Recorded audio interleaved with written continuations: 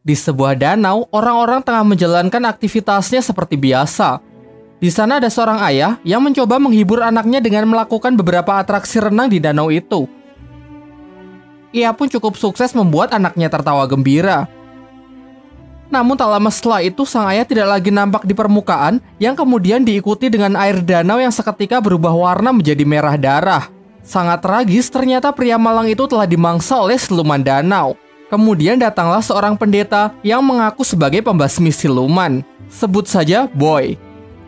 Dengan ritual-ritual yang Boy lakukan, ia berhasil membunuh seekor ikan pari raksasa di mana ia mengeklaim bahwa makhluk itulah yang selama ini menjadi monster danau. Warga pun dibuat sangat senang karena kini merasa telah aman. Tak lama setelah itu datanglah seorang pemuda bernama Jiang. Jiang mengatakan bahwa ikan pari itu bukanlah siluman danau, Sedangkan siluman danau yang asli kini masih berkeliaran bebas di dasar danau. Boy yang merasa diremehkan sebagai pembasmi siluman tak terima dan malah menuduh Jiang yang hanya bocah ingusan tak tahu apa-apa. Kemudian Jiang malah diikat agar tidak banyak bicara. Semua orang yang merasa sekarang keadaan sudah aman melakukan selebrasi dengan berenang-renang ria di danau itu. Tetapi naas karena ucapan Jiang ternyata terbukti ada makhluk buas yang mendekat, sayangnya Jiang yang diikat pun tak bisa bertindak dan tak ada orang yang peduli dengan peringatannya. Alhasil korban pun bertambah, sementara sisanya yang sangat ketakutan berusaha kembali ke darat. Namun ternyata darat juga bukan tempat yang aman karena siluman itu bisa menjulurkan lidahnya untuk menarik mangsa. Cara terakhir yang bisa Jiang lakukan adalah menyuruh semua orang agar tidak panik dan tetap di tempatnya. Terbukti hal ini cukup efektif, tetapi kemudian seorang anak mengacaukannya karena ketakutan berlari mencari ibunya.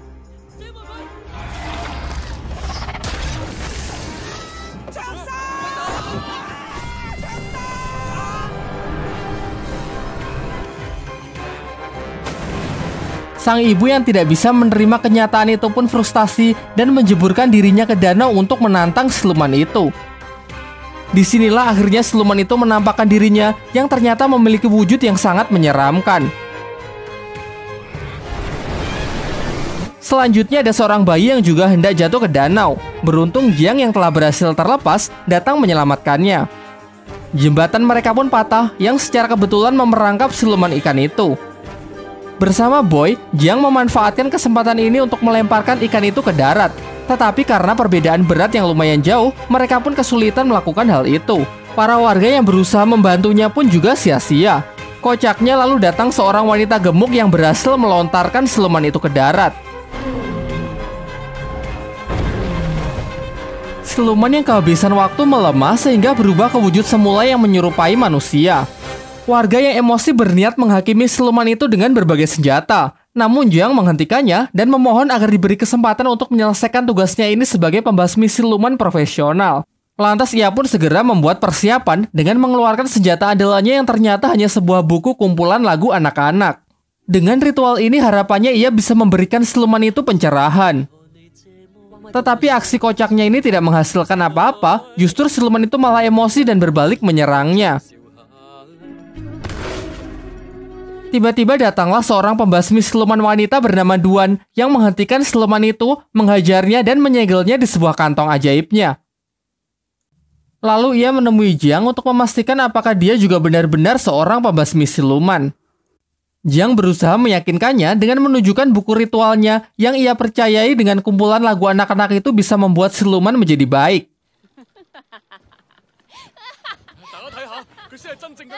Jang yang merasa sedih dan kecewa pergi menemui gurunya untuk menceritakan kegagalannya hari ini. Sang guru lalu menjelaskan bahwa siluman sungai yang baru saja ia hadapi dulunya adalah seorang manusia yang baik. Pada suatu hari ia menyelamatkan seorang anak di sungai, tetapi warga salah sangka dengan mengiranya adalah seorang penculik. Lantas mereka pun membunuhnya dan membuang jasadnya ke sungai sebagai makanan ikan.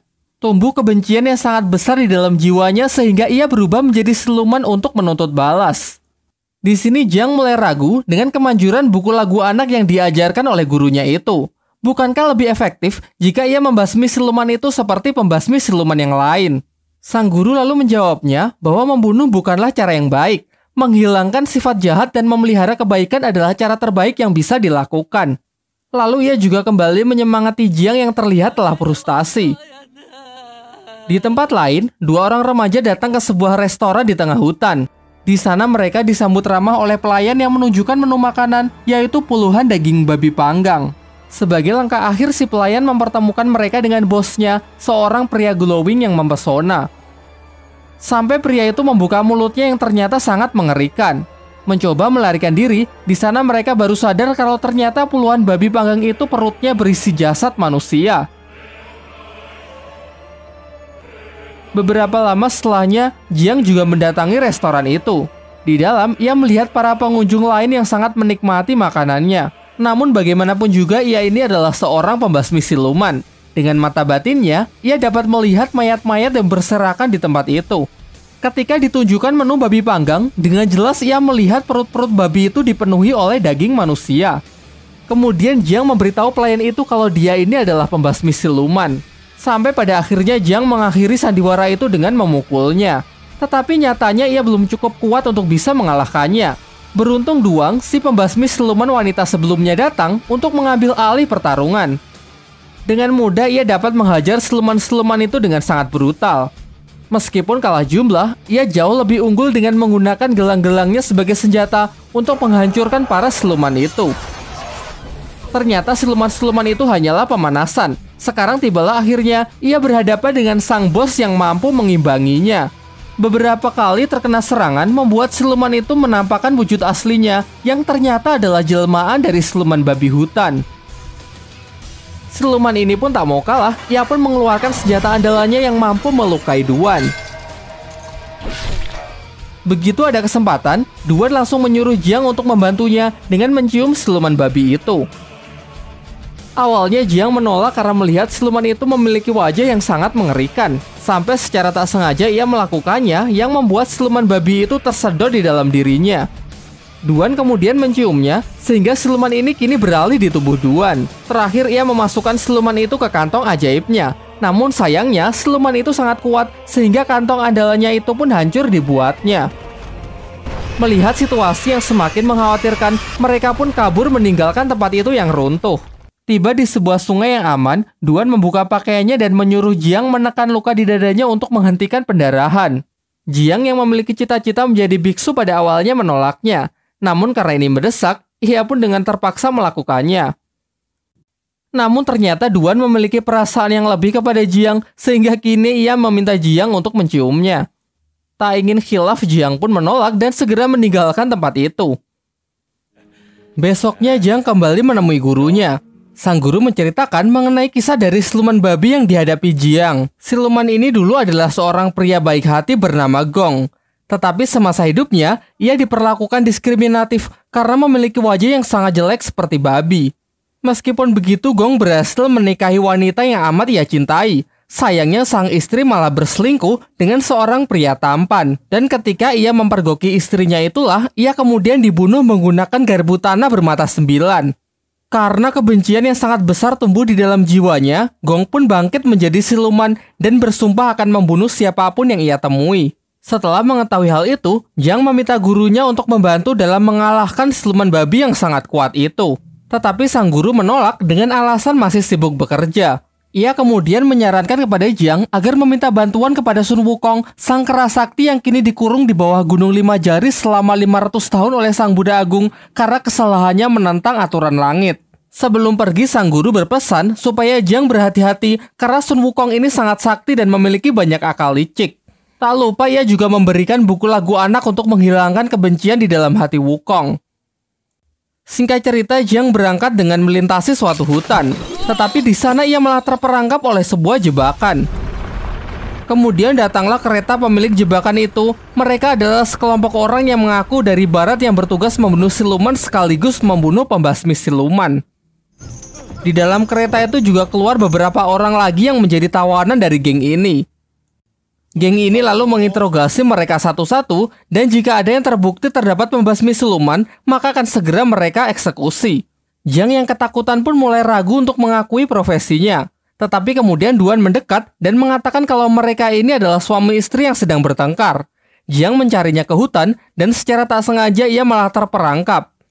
Demi untuk membuktikan hal itu, geng tersebut meminta mereka agar melakukan hubungan suami istri. Berbeda dari Duan yang sangat bersemangat, Jiang menolak karena ia adalah seorang biksu. Akhirnya karena tak ada pilihan lain, Jiang pun nyaris bersedia. Sampai ia menemukan sebuah fakta kalau ternyata senjata yang tertancap di tangan Duan hanyalah sebuah mainan. Dari sini pun terungkap bahwa ini adalah sandiwara dari Duan yang sangat mencintai Jiang. Secara terang-terangan ia ingin menikahinya, memiliki seorang anak dan hidup bahagia. Namun dengan tegas Jiang menolak karena ia menginginkan cinta yang lebih besar, yaitu cinta dari sang Buddha Agung. Hal ini membuat Duan patah hati, kemudian memukuli Jiang, bahkan sampai mengurungnya. Hingga mereka dikejutkan oleh kedatangan Gong si siluman babi yang ingin menghabisi mereka. Lalu Duan meminta Jiang agar turun dari kereta karena ia ingin menabrakkan kereta itu ke siluman. Kereta itu pun hancur berkeping-keping. Jiang sangat cemas melihat Duan yang sepertinya terluka parah. Jiang merasa sedih dan seakan menyesali perbuatan ia sebelumnya. Namun lagi-lagi ini adalah sandiwara Duan untuk mengetahui isi hati Jiang yang sebenarnya. Gong yang terpental ternyata tak terluka sedikit pun dan siap melancarkan serangannya lagi. Beruntung datang seorang kesatria tangguh yang memiliki kekuatan hewan buas. Ia berhasil menandingi Gong yang membuat Gong ingin melarikan diri.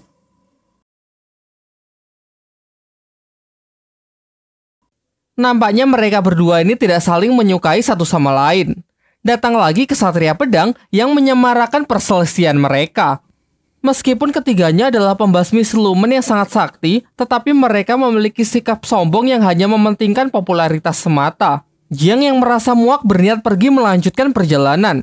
Kemudian Duan meminta agar diizinkan menemaninya, tetapi dengan tegas Jiang menolak dan malah menyalahkan Duan karena sudah menghambat perjalanannya.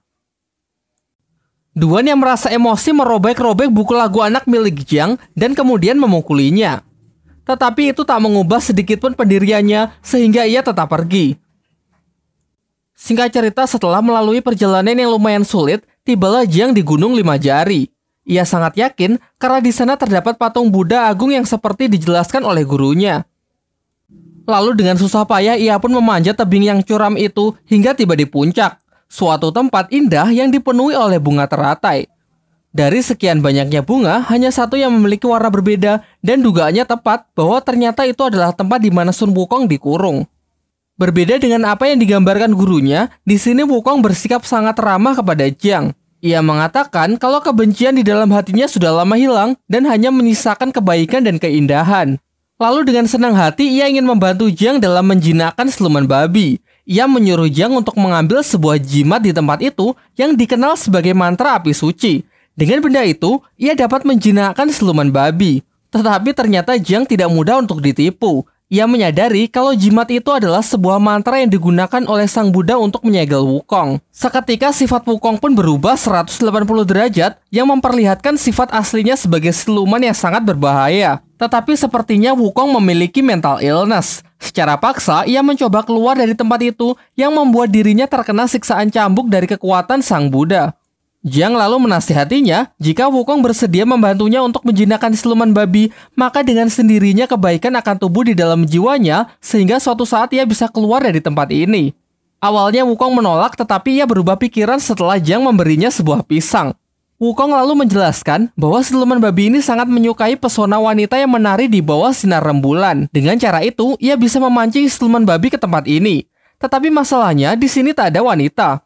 Sampai Duan datang yang ternyata telah mengikuti Jiang karena merasa khawatir. Ya meskipun Jiang masih terlihat kurang senang dengan kedatangannya.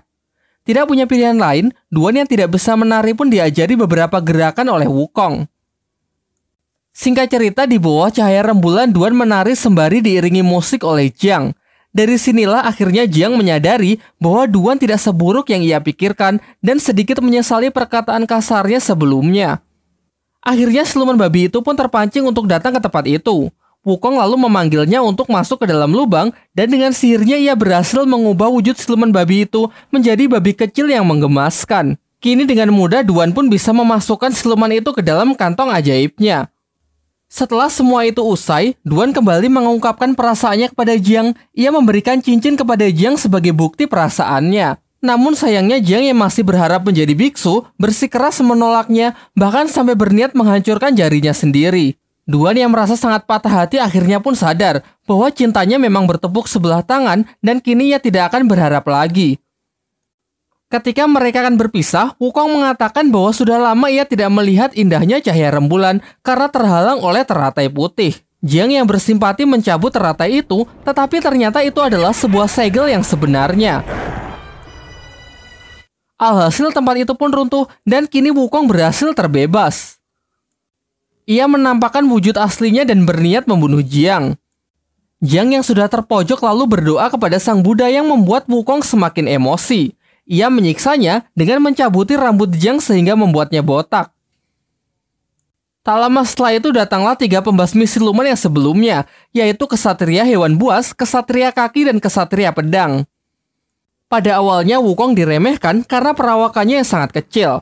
Mencoba unjuk kebolehan kesatria hewan buas maju terlebih dahulu untuk melancarkan serangannya. Tetapi dengan mudah Wukong dapat mengatasinya dan malah memakan kesatria itu hidup-hidup. Giliran kesatria kaki yang menyerangnya menggunakan injakan telapak kaki raksasa. Pada awalnya ia sangat sombong dan yakin dengan kakinya itu dapat mengalahkan Wukong. Namun karena tubuh Wukong yang terlalu keras, kakinya pun malah berlubang.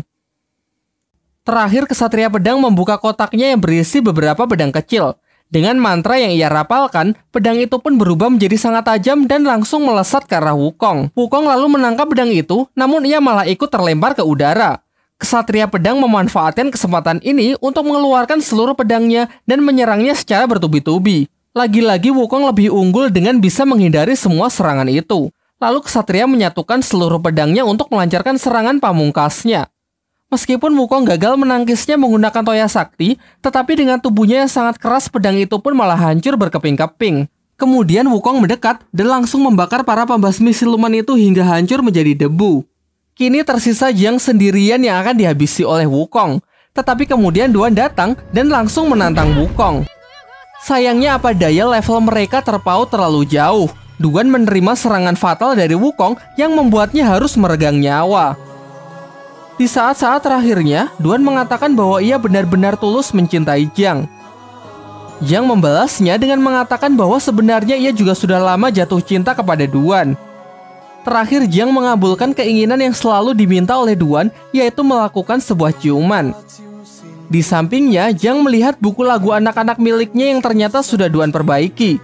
Jiang lalu membacanya, dan seketika seluruh lukanya pun sembuh, serta ia diselimuti oleh cahaya Sang Buddha. Dengan doa yang ia panjatkan, patung Sang Buddha pun bangkit kembali. Tetapi Wukong yang sangat emosi segera menghancurkan patung itu dengan hanya sekali pukulan.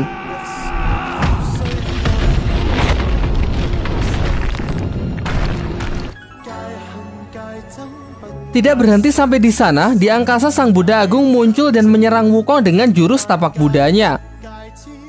Wukong mencoba menahan sekuat tenaga hingga berubah ke wujud kera raksasanya. Tetapi nampaknya meskipun ia keras sakti sangat mustahil menahan serangan sekuat itu.